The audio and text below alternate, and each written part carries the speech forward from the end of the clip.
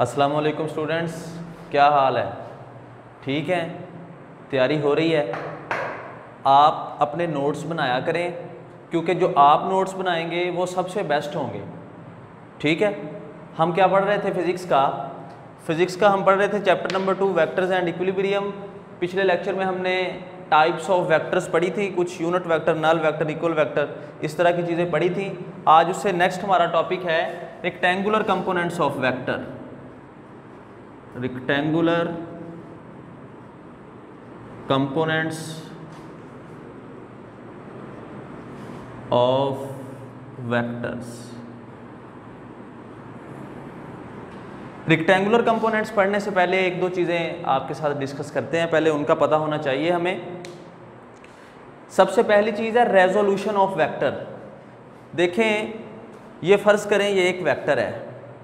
ठीक है? इसको मैंने तोड़ा, कितने हिस्से बन गए इसके? दो। अगर मैं इसको भी निकाल दूँ यहाँ से तो कितने हिस्से बन जाएँगे? तीन। जिस तरह मैंने इस मार्कर को तोड़ लिया, दो या दो से ज़्यादा हिस्सों में, इसी तरह एक वेक्टर को भी तोड़ा जा सकता है, दो या दो से ज़्यादा हिस्सों में। इसे हम कहते हैं resolution of vector splitting up of a vector splitting up of a vector into two और more components is called resolution of vector तो सबसे पहले आप लिखें रेजोल्यूशन ऑफ़ वेक्टर क्या होता है? Resolution of vector splitting up of a vector into two or more components. ये होता है रेजोल्यूशन ऑफ़ वेक्टर अच्छा यहाँ पे मैंने एक लफ्ज यूज़ किया है कंपोनेंट कंपोनेंट क्या होता है? कंपोनेंट होता है हिस्सा। देखें, जैसे यहाँ, ये मैं डायाग्राम बना देता हूँ। डायाग्राम यहाँ से आपको समझ आएगी। ये है जी कोऑर्डिनेट सिस्टम ये एक्स एक्सिस है ये वाई एक्सिस है, ठीक है? ये कोई वेक्टर है। इस वेक्टर का नाम है ए ठीक है? ये कोई पॉइंट है पी हमने ओ से चलना है और पी पे पहुँचना है। पी पे हमने पहुँचना है। ये वाला रास्ता फ़र्ज़ करे बंद है। यहाँ पे पुलिस खड़ी है, ठीक है? नाका लगा के। हमने इस रास्ते से नहीं जाना, पहुँचना पी पे है तो फिर दूसरा रास्ता क्या है? हम पहले इधर से इधर जाएँगे, फिर इधर से ऊपर चले जाएँगे। ठीक है? ये देखें, एक ही वेक्टर था ए एक ही वेक्टर है, हमने इसको दो हिस्सों में डिवाइड कर लिया। एक ये हिस्सा बना दिया इसका, और दूसरा ये वाला हिस्सा बना दिया। हमने वेक्टर के दो हिस्से बना दिए, इन हिस्सों को हम कहते हैं कंपोनेंट्स ये क्योंकि एक्स एक्सिस की तरफ़ है ए का हिस्सा तो इसे कह देंगे ए एक्स और ये वाई एक्सिस की तरफ़ है, इसे हम कह देंगे ए वाई ठीक है? ये वेक्टर एक्स एक्सिस के साथ एंगल थीटा बना रहा था। तो मैंने एक वेक्टर के कितने हिस्से बना दिए? दो। दो हिस्सों में इसको डिवाइड कर दिया। इस प्रोसेस को हम कहते हैं रेजोल्यूशन ऑफ़ वेक्टर और ये जिस, जो हिस्सों में हमने तोड़ा है, उसे हम कहते हैं कंपोनेंट्स ऑफ़ वेक्टर तो कंपोनेंट की डेफिनेशन क्या बनी? कंपोनेंट कहते हैं पार्ट को। पार्ट ऑफ़ वेक्टर कंपोनेंट क्या है? पार्ट ऑफ़ वेक्टर जिसकी कोई मखसूस डायरेक्शन हो। ये देखें, इसकी डायरेक्शन इधर को है और इसकी डायरेक्शन ऊपर है।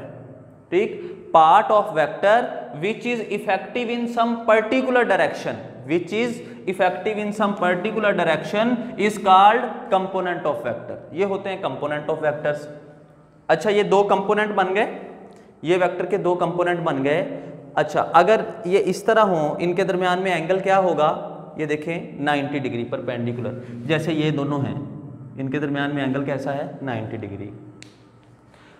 इन दोनों कंपोनेंट्स के दरमियान में 90 डिग्री का एंगल है तो इन कंपोनेंट्स को हम कहेंगे rectangular components the components that are perpendicular to each other are called rectangular components तो नोट कर लें कंपोनेंट ऑफ़ वेक्टर क्या है? Component of vector. A part of vector which is effective in some particular direction ठीक है? Is called component of vector. ठीक है? Next rectangular component rectangular component आपको क्या बताया? जी रिवाइज करें।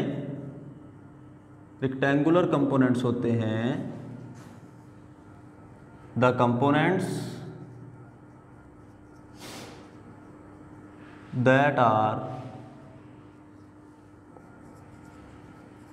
perpendicular to each other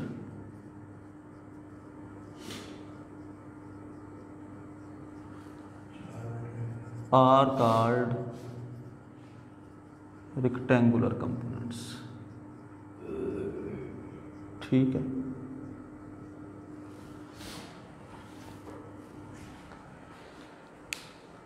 ये हमने क्या है इसकी, ये जो डायग्राम में हमने डायग्राम बनाई है, इसकी एक्सप्लेनेशन हम लिखेंगे let's consider a vector A let's consider a vector A makes an angle theta with X axis we can resolve this vector into two components A X and A Y तो ये देखें, जो ए vector है, हमने इसके दो component बना दिए, एक ए एक्स दूसरा ए वाई और आपको बताया था एक्स एक्सिस के लिए यूनिट वेक्टर होता है आई वाई के लिए होता है जे ऐसे करके आपने याद किया था X Y Z I J K ठीक है? एक्स के साथ आई वाई के साथ जे ये आ गया हमारे पास ये वेक्टर ठीक है? अगर वो हमसे पूछे कि ये जो आपने कंपोनेंट बनाए हैं ए एक्स और ए वाई ये आप कैसे फाइंड करेंगे? तो ये वेरी सिंपल ये ओ पी और एम ये एक ये एक बन रहा है जी ट्राइंगल इस ट्राइंगल पे आप ट्रिग्नोमेट्रिक फ़ंक्शंस जो हैं cos theta sine theta tan theta वो लगा दें आप। तो आपके पास वैल्यूज़ आ जाएँगी। आप उतनी देर इसको नोट कर लें या इसको वीडियो को पॉज करके इसका स्क्रीनशॉट ले लें। जी।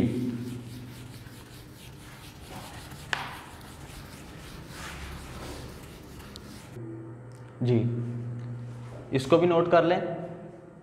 तो हम कर रहे थे हॉरिजॉन्टल कंपोनेंट की वैल्यू हमने फाइंड करनी है और वर्टिकल कंपोनेंट ठीक है? ये कैसे फाइंड कर लेंगे? इस ट्राइंग इस ट्राइंगल के ऊपर हम कॉस थीटा भी लगा देंगे और साइन थीटा भी लगा देंगे। फ्रॉम या for horizontal for horizontal component जी, इस पे कॉस थीटा लगा दें। कॉस थीटा क्या होता है? बेस ओवर हाइपोटीनियस ठीक है? कॉस थीटा बेस क्या है? ये है जी बेस ये परपेंडिकुलर है और ये जो लाइन है, ये है हाइपोटीनियस बेस क्या है? O M O M hypotenuse क्या है? O P cos theta O M की जगह इसका दूसरा नाम ए एक्स ओ पी की जगह ए और यहाँ यहाँ पे ए एक्स क्या आ जाएगा हमारे पास? A X is equal to ये इधर डिवाइड इधर जाके मल्टीप्लाई ए कॉस थीटा ठीक है? A X is equal to A cos theta इसी तरह फॉर वर्टिकल कंपोनेंट इस पे आप साइन थीटा लगा दें। Sine theta is equal to क्या होता है? परपेंडिकुलर ओवर हाइपोटीनियस वो जिस तरह आपने याद किया हुआ है some people have curly brown hairs through proper brushing sine theta perpendicular over hypotenuse sine theta perpendicular over hypo hypotenuse perpendicular क्या है? एम पी एम पी और हाइपोटीनियस ओ पी इनकी जगह इनकी वैल्यूज़ वैल्यूज़ लगा दें। एम पी का दूसरा नाम ए वाई ओ पी का दूसरा नाम ए यहाँ से ए इधर डिवाइड इधर जाके मल्टीप्लाई तो क्या आ जाएगा हमारे पास? A Y is equal to A sine theta ठीक है? ये थी जी इनकी वैल्यूज़ हॉरिजॉन्टल कंपोनेंट की ए एक्स और ये वर्टिकल कंपोनेंट की ए वाई अच्छा एक बात वो और लिख रहा है आपकी बुक में। इस ए का जो साया बनता है, साया को हम कहते हैं प्रोजेक्शंस अगर मैं यहाँ से लाइट थ्रो करूँ टॉर्च के ज़रिए यहाँ से लाइट थ्रो करूँ तो इसका जो साया बनेगा वो एक्स एक्सिस पे, उसे हम कहेंगे ए एक्स और अगर मैं यहाँ से लाइट थ्रो करूँ तो इस वेक्टर का जो साया वाई एक्सिस पे बनेगा, उसे हम ए वाई कहते हैं, ठीक है? A X projection of A on X axis A Y projection of A on Y axis ये था जी आपका रिक्टेंगुलर कंपोनेंट्स